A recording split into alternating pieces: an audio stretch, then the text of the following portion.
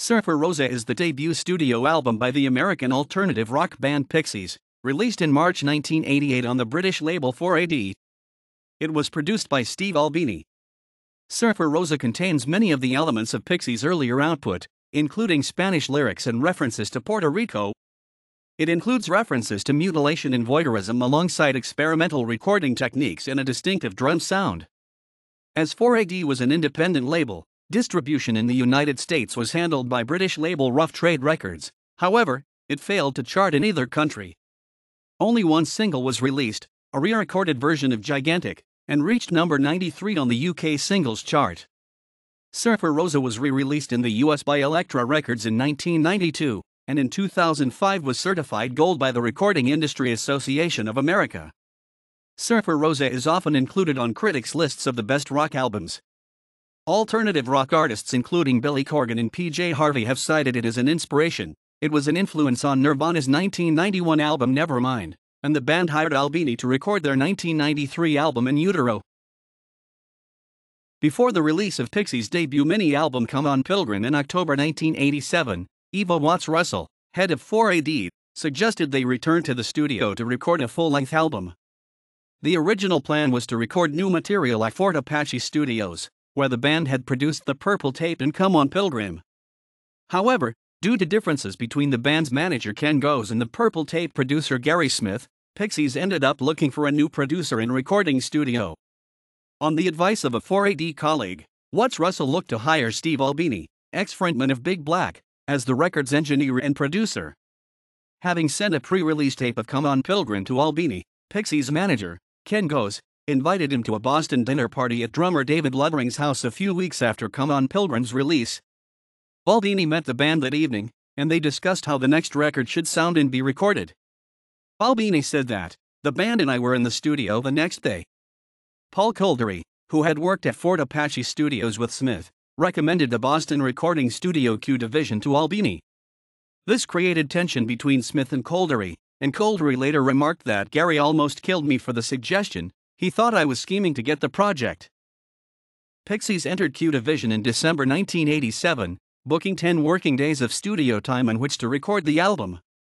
4AD allocated the band a budget of 10,000 US dollars.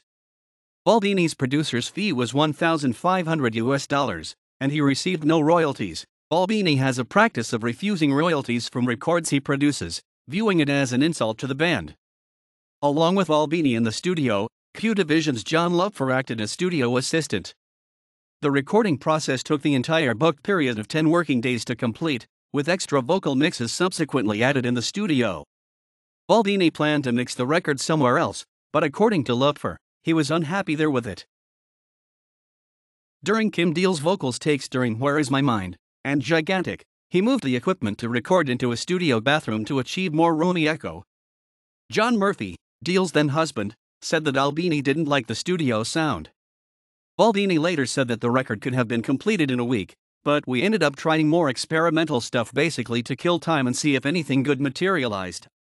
An example was Something Against You, where Albini filtered Black Francis' voice through a guitar amp for a totally ragged, vicious texture.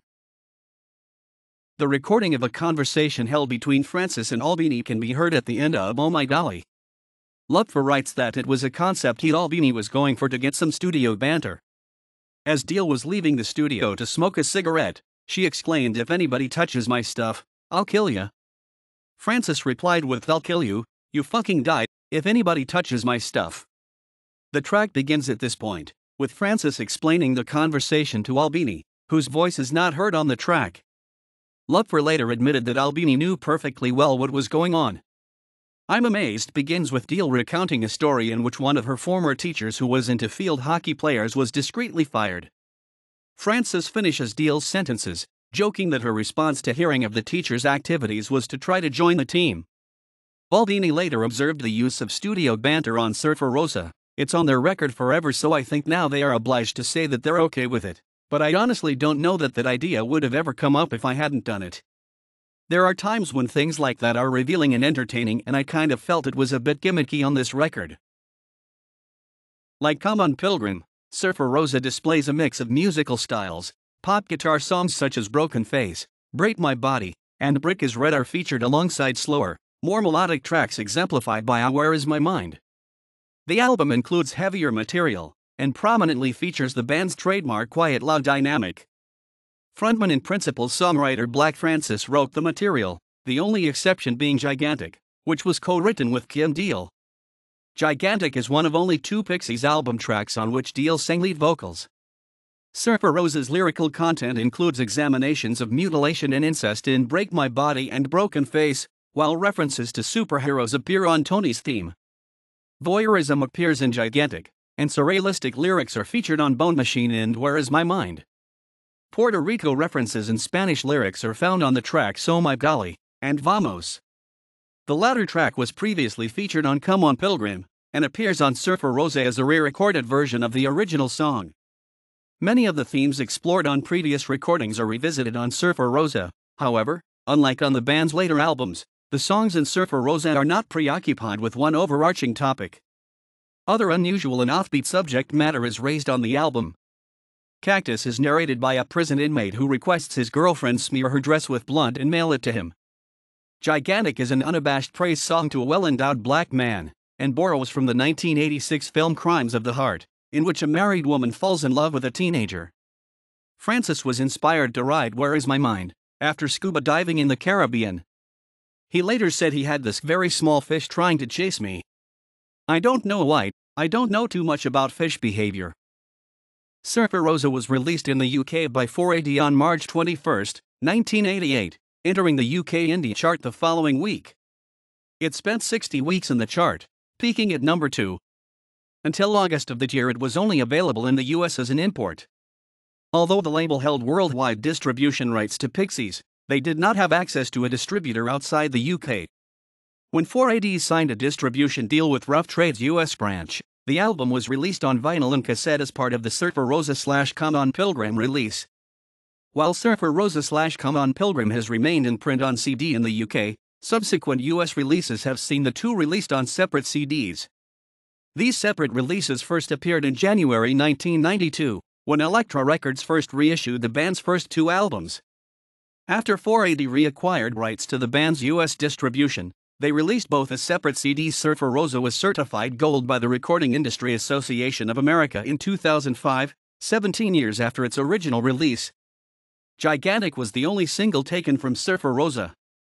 The track and its B side, River Euphrates, were re recorded by Gil Norton at Blackwing Studios in London, early in May 1988. The remixed single was well met by critics. The single failed to sell, and spent just one week at number 93 on the UK singles chart. Despite the per commercial performance of both Surfer Rosa and Gigantic, Ivo Watts Russell has said that the response to the album was times 5 compared with Come On Pilgrim. Surfer Rosa's cover artwork features a photograph of a topless friend of a friend of the band, posing as a flamenco dancer, pitched against a wall which displays a crucifix and a torn poster. Simon Larbalestier, who contributed pictures to all Pixies album sleeves, decided to build the set because we couldn't find the atmosphere we wanted naturally, According to Larbalestier, Black Francis came up with the idea for the cover as he wrote songs in his father's topless Spanish bar. Larbalestier added the crucifix and torn poster, and they sort of loaded it with all the Catholicism. Commenting on the cover in 2005, Francis said, I just hope people find it tasteful. The cover booklet expands on the theme and features photographs of the flamenco dancer and several other poses. There are no song lyrics or written content, apart from album credits, in the booklet. Albini's name does not appear on the original record sleeve. The booklet's photographs were taken in one day at a pub opposite the 4AD offices, because, according to Larbalestier, it was one of the few places that had a raised stage. In a 1988 interview with Joy Press, Black Francis described the concept as referring to a surfer girl who walks along the beach of Binwans, has a surfboard, very beautiful. When questioned about the topless element, he replied, For the first record, I told them I like nudity. I like body lines, not necessarily something in bad taste, didn't even have to be female, just body lines, like that Obsession ad, you know. According to Melody Maker, the album was originally entitled Gigantic after Deal's song, but the band feared misinterpretation of the cover and changed it to Surfer Rosa. The name of the cover woman, and the album title, comes from the Oh My Golly lyric Besando Chichando con Surfer Rosa, which roughly translates to kissing chicha with Surfer Rosa. UK music press reviews of Surfer Rosa were generally positive. Cusey and Crana wrote that what sets the Pixies apart are their sudden bursts of memorable pop melody, and noted that they could have a bright future ahead of them.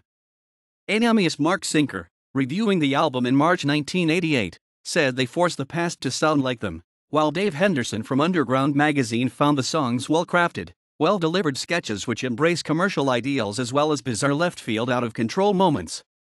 American Music magazine Spin described it as beautifully brutal and named Pixies their Musicians of the Year. In a less enthusiastic contemporary review for The Village Voice, Robert Christgau found the band's guitar riffs recognizable and their strong rhythms unique, but felt they had been overrated by critics who hailed them as the Amerindie Find of the Year. In a 2003 review of the Pixies' 2002 self titled EP, Christgau wrote that while he initially found Francis fey and philosophically limited lyrics somewhat annoying, Surfer Rosa now seemed audaciously funny and musically prophetic. At the end of 1988, Surfer Rosa was named one of the year's best albums on English critics' year end lists. Independent music magazine's Melody Maker and Sounds named Surfer Rosa as their album of the year. NME and Record Mirror placed the album 10th and 14th, respectively.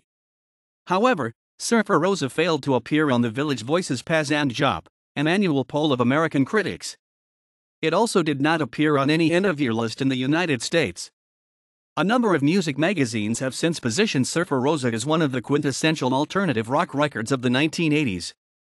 The album has appeared on several all time best album lists, and is consistently placed as one of the best albums of the 1980s in any genre. As of 2015, sales in the United States have exceeded 705,000 copies, according to Nielsen SoundScan. Both Surfer Rosa and Steve Albini's production of the album have been influential on alternative rock, and on grunge in particular. Nirvana's Kurt Cobain cited Surfer Rosa as the basis for Nevermind's songwriting. When he first heard the album, Cobain discovered a template for the mix of heavy noise and pop he was aiming to achieve. He remarked in 1992 that he heard songs off of Surfer Rosa that I'd written but threw out because I was too afraid to play them for anybody. Cobain hired Albini to produce Nirvana's 1993 album In Utero, primarily due to his contribution to Surfer Rosa. The Smashing Pumpkins' Billy Corgan described Surfer Rosa as the one that made me go, holy shit.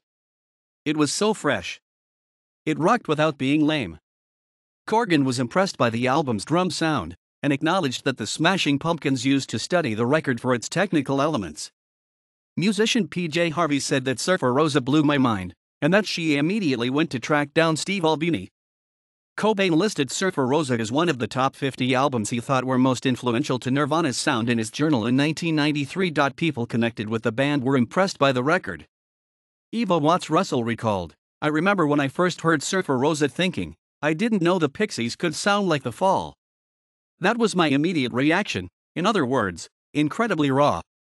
Gary Smith, who at the time was in a disagreement with the band, admitted he was really happy that they had made such a forceful, aggressive record.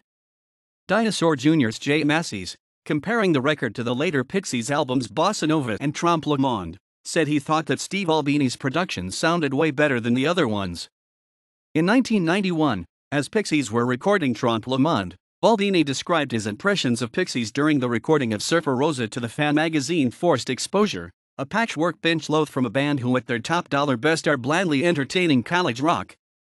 Their willingness to be guided by their manager, their record company, and their producers is unparalleled. Never have I seen four cows more anxious to be led around by their nose rings. Albini later apologized for his remarks, saying, To this day I regret having done it. I don't think that I regarded the band as significantly as I should have. All tracks written by Black Francis, except where noted. For the Surfer Rosa slash Come on Pilgrim release, the eight tracks of Come on Pilgrim appear after Brick is Red. The untitled 11th track consists of a quiet recording of conversation in the studio. It exists as a separate track on some CD releases but is not listed on the artwork. As such, after track 10, the track listing numbering on the artwork does not match actual tracks on those CDs. The album was remastered and released in 2007 as a hybrid super audio CD disc by Mobile Fidelity's Sound Lab from recently discovered, first generation analog original master tapes. The studio banter that makes up the untitled track on other releases is on the same track as Oh My Golly. All information taken from the CD release of Surfer Rosa. Pixies Black Francis, vocals, rhythm guitar, acoustic guitar. Kim Deal, bass, vocals, lead vocals on Gigantic, credited as Mrs. John Murphy. Joey Santiago, lead guitar. David Lovering, drums technical Steve Albini, production, audio engineering. Simon Larbalestier, Vaughan Oliver, cover image, album booklet imagery. Published by Rice and Beans Music BMI. The information regarding accolades attributed to Surfer Rosa is adapted from acclaimedmusic.net. Asterisk designates unordered lists.